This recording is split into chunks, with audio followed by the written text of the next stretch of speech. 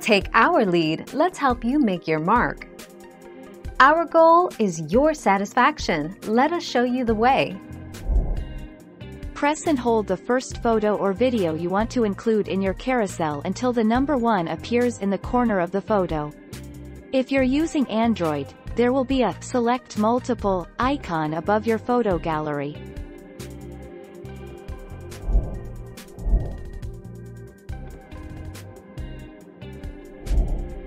Take our lead.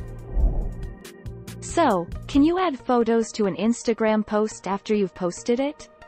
No, you can't. Unfortunately, this capability isn't available on Instagram or in Facebook Creator Studio yet, although it's certainly been requested.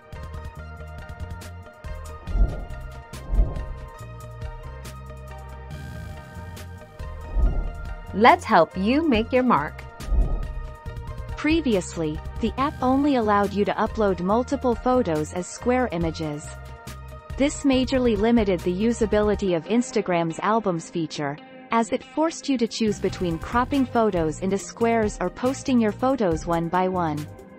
Anyways, this is why it gets cropped down.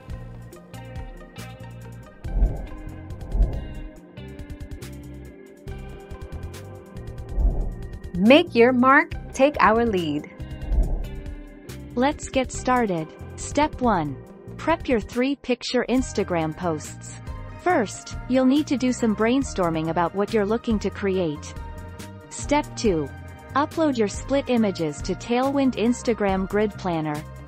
Step 3. Arrange, schedule and post your Instagram posts in threes.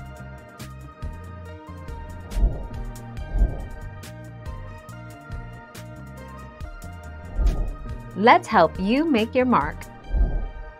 To split your images, use one of these tools. 9 Square for Instagram.